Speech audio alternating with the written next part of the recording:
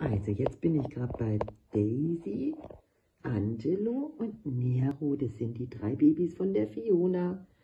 Und die sind richtig, richtig groß geworden.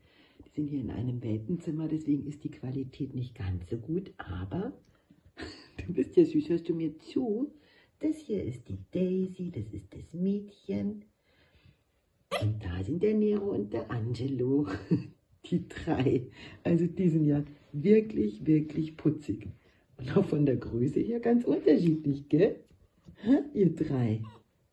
Super süß. Wer maunzt denn da? Ha, wer maunzt denn da? Und du hast dich ein bisschen nach hinten versteckt mit dem blöden Video.